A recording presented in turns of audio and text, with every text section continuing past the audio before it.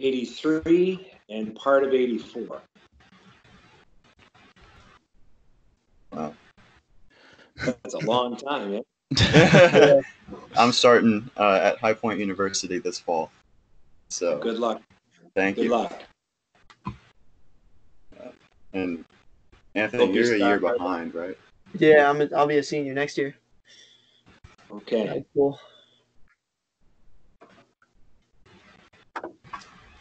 So do you mind if we go ahead and jump right in? I don't know. All right, No. that sounds So, first, firstly, um, obviously you're working with the Hurricanes. So, what do you think about the 2014 playoff format, and why do you think the Hurricanes voted against it? Well, I think they voted against it because they didn't they didn't like the fact that you know they were in a playoff spot, and I guess I, the pushback was the play-in idea.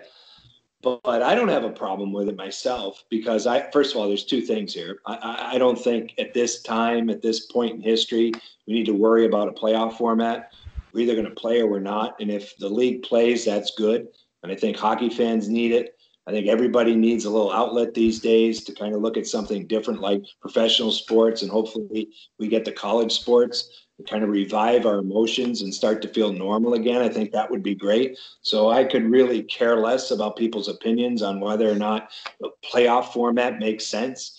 Um, I look at it one way we're either going to play or we're not. And if we do play, how do you do it? And I do know that the best way to do this was to complete the regular season, bring all the teams back, play the remaining games, situate your playoffs, and get on with it.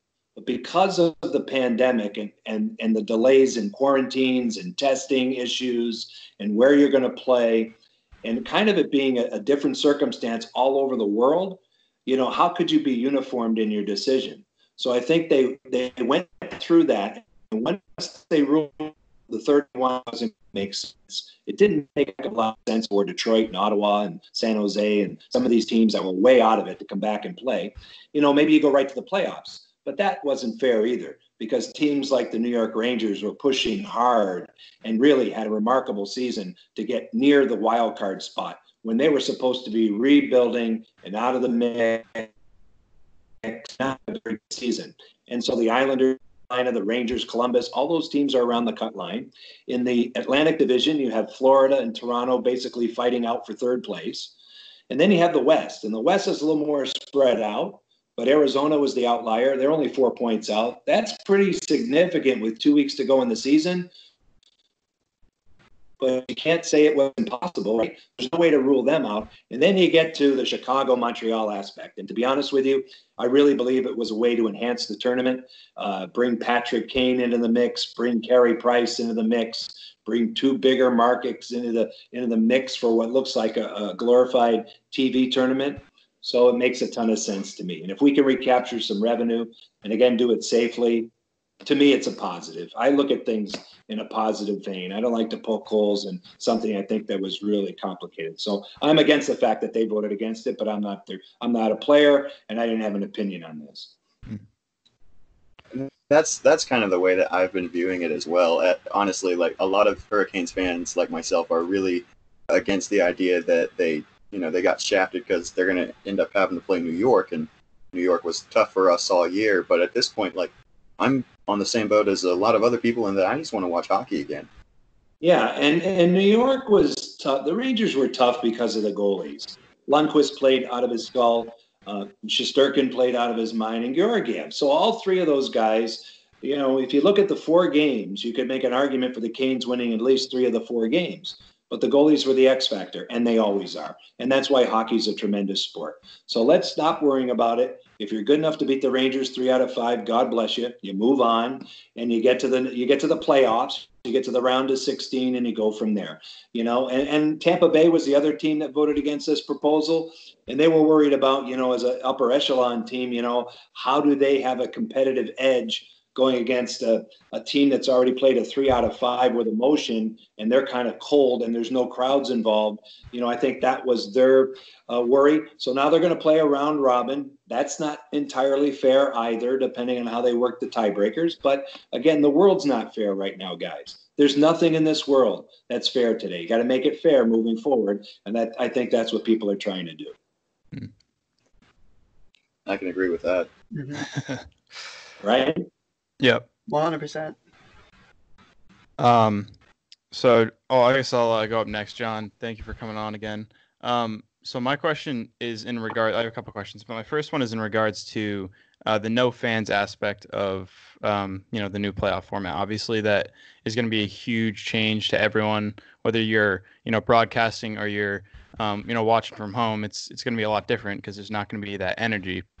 And so, do you do you think that as a broadcaster, you obviously you know have somewhat of an obligation to you know um, energize you know from from um, you know being there and energize for, from the, for the people at home, like you and Kenny Albert and Doc Emrick and like Boston Zone, Jack Edwards, like you guys, you know, make the game a lot more, you know, fun. Um, do you guys think you have now, you know, an increased um, obligation to try to give more energy to the game just because, you know, there isn't going to be that fan aspect?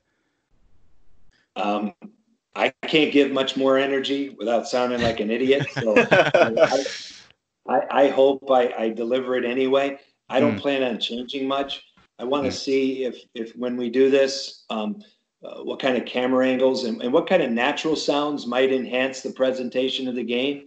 You know, mm-hmm. if you want to hear communication on the ice, you want to hear some coaches barking signals, you want to hear what's actually said on the bench there's going to be somebody with their finger on a button to, delete a few things along the way, you know, clean it up. But I think as fans, we'd enjoy the raw nature of the sport. And I believe as hockey's played, even in an environment like this with no fans, just the nature of the game is going to make it really intense because it's a physical game. And so mm. if you're pushing back at, at another team and, and they push back hard at you, it's a natural human reaction to get, you know, ticked off and to play mm-hmm. harder and to do all those things. So I think the game will take care of itself. I don't think it'll be as generic as say baseball if they play will be without fans. I think we'll be okay. Do they pipe in some uh, background noise? I think we'll have music. I'm not 100% sure we're gonna we're gonna pipe in crowd noise. If they do, I've seen that over in Germany with their professional soccer leagues. Maybe that works. Uh, but all you know, all bets are off under these circumstances. You try something and you see where it goes. The good news is everyone's so starved to see it. I think we're going to love it when we see it. And then the drama of the the entire tournament will take place. And then once the first games are out of the way, we're going to have a story on our hands. Mm.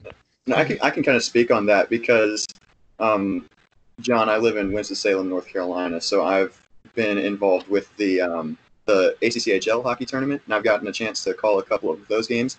And there is, I can't say that there's a sport that would have fewer fans than George Washington and West Virginia club hockey in North Carolina at 9:30 on a on a Saturday night. So having the natural sound in an empty arena like that is, it's better to me than having that crowd energy, in my opinion. But yeah, and those and those players Graham, those players play hard, don't they? They play they, hard. Mm-hmm. Yeah. Um, because they're not there because they're getting paid. They're there because they love the game. Mm. Yeah. Um, I'm kind of gonna butt in here. Uh, I know I mentioned before I'm not the biggest hockey guy, but I'm a sports fan. but I'm a sportsman and I can appreciate the toughness and intensity of hockey, even though I believe that wrestling is tougher because I've been there through that. Um, I, I, just wanted to ask you, what's the um? Can you just paint the picture for me of um the best game you've ever called, just the intensity, and just paint that picture for me. Well, I'll agree with you on wrestling first of all. Thank you. Because thank you. Um, I never wrestled in my life, right? And I was a phys ed major as an undergrad at Springfield College in Massachusetts, and I had to take a wrestling skills class. You know, you take all these skills classes in mm-hmm. various sports, so you can teach them someday, gymnastics and so on. Yeah. And the wrestling coach popped my neck. I was a demo, the first class as a freshman, skinny kid. popped my neck, and I was in a soft brace for like two weeks. So oh. I have a hundred percent appreciation for real wrestling. There's there's no mm. question about it. And uh, Jeff Blatnick, do you ever hear that name? Have not. Wrestling? Gold medalist from, from our school, I believe in the 84 Olympics. gold medalist, Wow. Greco-Roman. Anyway, uh, off track here. Greatest game I've ever done. It's a very good question. I get it a lot. Um, and, and the answer is kind of trite, okay? Because um, I've, I've done so many games under various circumstances local games, national games, uh, all the games involving the Canes, national playoff games involving other teams. Uh, the one game I did that I think is unique and and and way different, and this is what this is the type of circumstance I'll give you two, is the outdoor game I did between Toronto and Detroit in 2017, Centennial game in Toronto, New Year's Day. Um, remarkable experience. It's the only outdoor game I've seen in person. I did the call with Pierre McGuire and Brian Boucher and uh, Jeremy Roenick, Kathryn Tappen. It was a sensational experience. Um, and then I would say this season, although the Canes playoff games are all great, and certainly being part of the game seven in 06 where they won the Stanley Cup on radio was remarkable for me. But I would say this David Ayres game where we had the emergency backup goalie come in in February, that was so unique and so historic and uh, such a great story, not only for hockey, but even you, who's not very familiar with hockey, can appreciate a guy coming out of the crowd, an everyday guy, and jumping into a major league sport and winning the game. Like that's a Hollywood script. So for me, mm-hmm. broadcasting that game was was sensational. Mm. that was that was kind of one of the answers that I had, you know, prepared to hear from you. The other one that I'm, you know, where I'm kind of interested off script, but where does this, where does the game seven against Washington from last season, where does that rank for you? It's right there, and and, and the entire and, and even game three of Mhm. round one last year because it was the first playoff game since 09, right?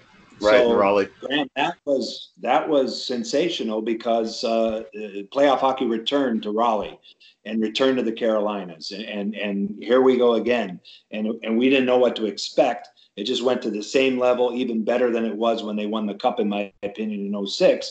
And then Game Seven in Washington, double overtime, uh, sensational, sensational game. And those games that you do locally are are special because you're just broadcasting to your Hurricanes audience and those that want to see your feed now on NHL Center Ice and all of that. So it's way different from the dark ages when I started.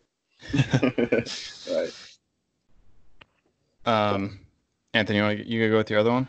Oh yeah, I got another one lined up. Um, recently I've been writing a bunch of blogs about um who the greatest this is, who the greatest that is. I call it goat talk. Um, I'm gonna continue with that trend with you. Um, I want to know who the greatest player is that you've ever gotten to um watch in your storied career. Well, the greatest player for me is Bobby Orr. Okay, Mm. but I was a kid. but I still think I still think Bobby Orr revolutionized the game. Uh, was an unbelievable uh, dominant player. You look at his numbers, you look at you know MVPs and Norris trophies and all that in a 10 year career that was cut short because of a knee injury. But the greatest player I ever covered was Wayne Gretzky, without question. And one of the greatest individuals I've ever met is is Wayne Gretzky as a as a normal human being. Um, Sidney Crosby's along the same line. He, he's a really good guy. Like uh, he'll sit there and give us the time of day and respect media and and work with us. And and that doesn't necessarily mean just because you know they give us a little bit of love, I have any bias. But I think you look at how he's helped grown the game. Uh, Ovechkin has has grown the game in this generation, no question. Connor McDavid's going to do it moving forward, and others. Patrick Kane. You know, you can start going through this long list. But to come up with the GOAT, the GOAT, the the what you're looking at here, um, in, in my years of doing this, 30 plus years of broadcasting the NHL, Wayne Gretzky, without question. And I was gonna kind of go off um on asking you who your favorite player is that you've gotten to watch. And you said that Wayne Gretzky was just an outstanding human being. Would you say he falls under that category as well? Yeah, and there's a long line of that. You hear that a lot. You hear, oh, hockey players are really great guys. Uh, by and large, they are. Uh, I think most professional athletes really are. I mean, you, you have this unbelievable God-given ability. You work extremely hard to manufacture it, make it better as you go through your journey. And and most of them, the a high percentage of players in all sports that reach the highest level of their their craft give back and and are, are decent people because they they they don't forget.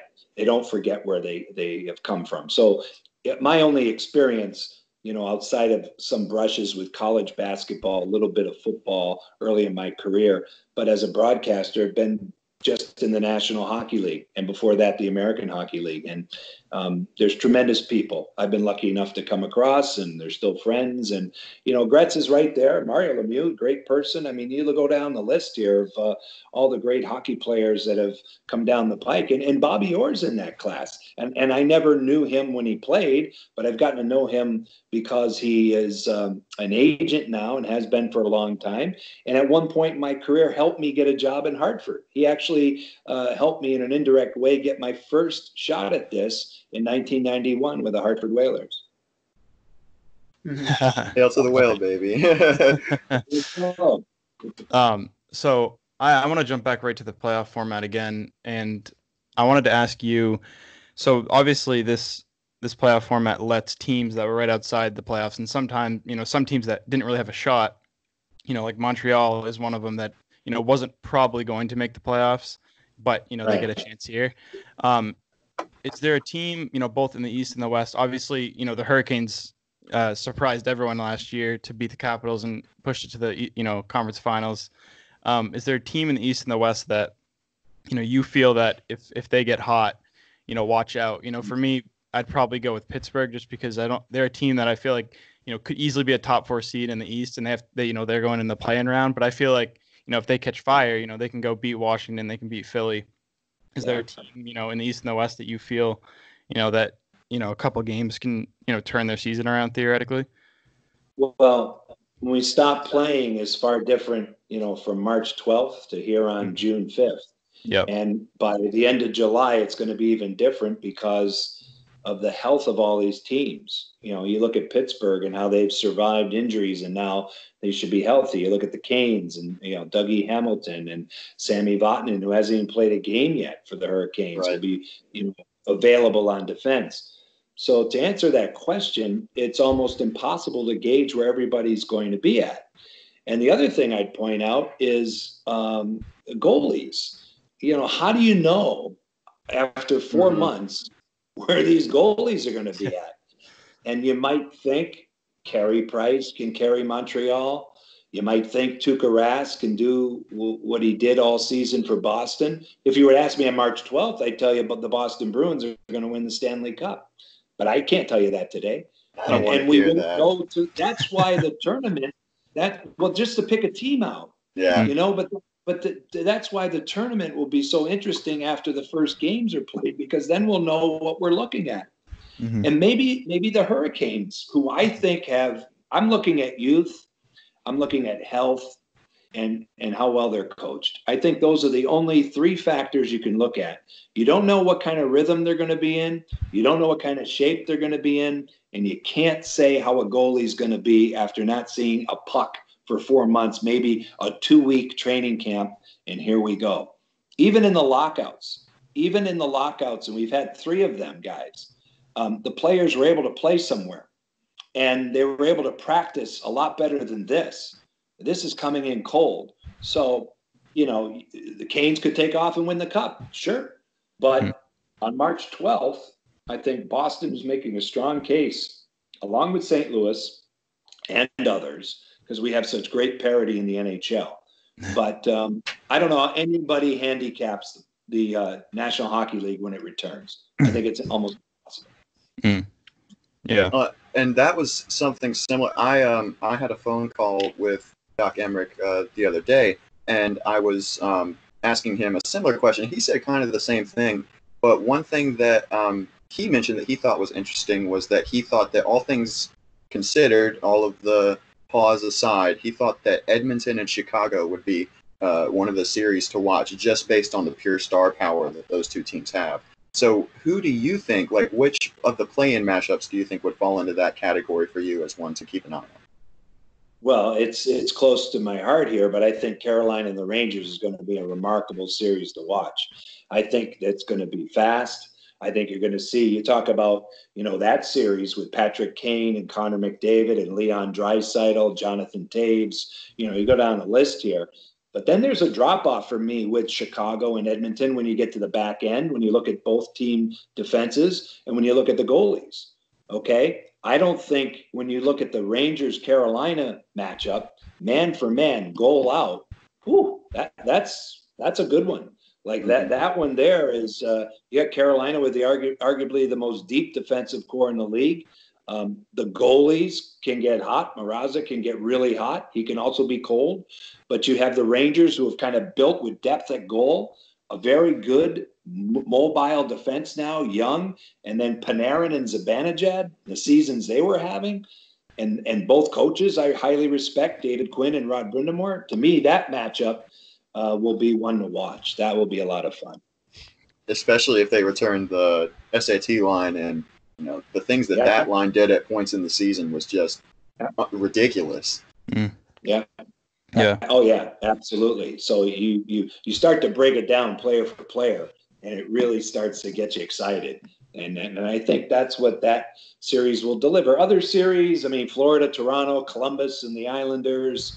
Um, you know, the other out in the West you know, I'm I'm not a hundred. They they don't do it for me. I think Doc is uh, right on with the Edmonton, Chicago, and I think that was part of the lure to get the Blackhawks involved in this mm-hmm. was to create something like this. This is almost like a reality show. They've created this thing, um, but the Rangers and, and Carolina is a is a heated matchup in the making. Yeah.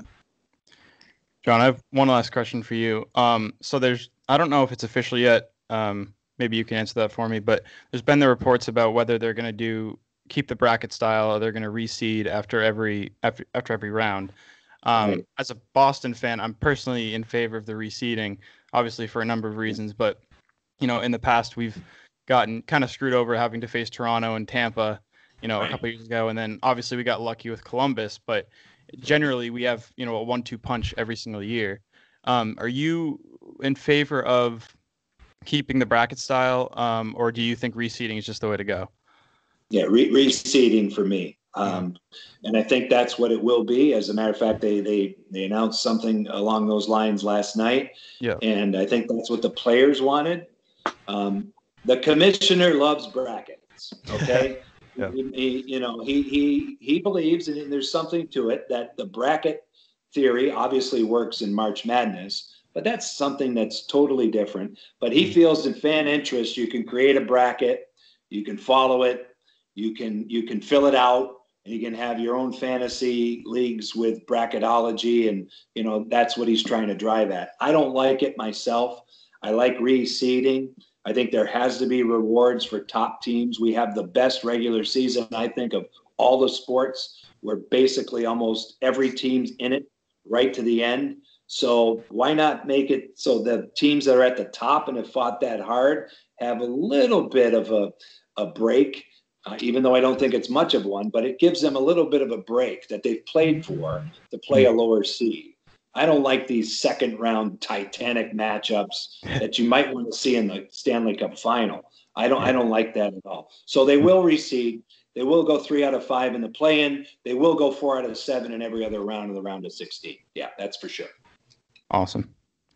Yeah, I, th- I think that's the way to go as well. And that kind of leads into the next question and final question I had for you, which is, you know, where does the NHL go from here? Obviously, they've got the proposed playoff format. They've got the hub cities narrowed down a little bit, but what does it look like from, uh, you know, a logistics standpoint for the league as a whole from this point, and then going into next year as well? Um, so, what do you think that you know the league is faced with at this point? Well, it's a great question, and the last part of your question is the most important part. What what bridge does this bring us to for the next season? So I'll touch on that when I'm done. Um, they just announced officially that Phase Two is underway starting Monday. So as of Monday now, finally, teams can come back on a voluntary basis to their training centers and train in small groups of six without coaches and go through the protocol, the testing, the masks, having an infectious disease doctor on call with each team just in case you have an outbreak or whatever. And that will go on for what looks like at least three weeks and maybe longer. Um, I've heard for training camps, full on training camps in the markets, July 14th, which would lead us to think that they would have at least a 10 day training camp, probably two weeks. I don't think it'll be three weeks And I've always felt that in and around July 24 to the 31st, uh, the, the I know NBC wanted that as a, a window of opportunity because they lost the Olympics, and the Olympics were supposed to start on July 24th. So I've always felt that's when the tournament will start. And how it affects moving forward. You know, it, it's affecting everything in hockey. The next entry draft, they figured out the draft lottery. Um, you know, when we draft the, the next group of players, when trades are consummated, all that off-season stuff, free agency we normally see on July 1. What's the date for that? And then how you get to the next season and when does it start?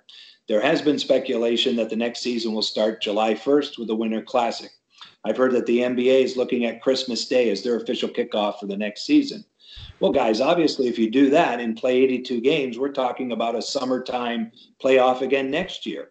And if we get into July and the beginning of August of the next season, we finally give the Stanley Cup away in 2021, what happens the next season? You don't mm-hmm. just come back and do it again in October.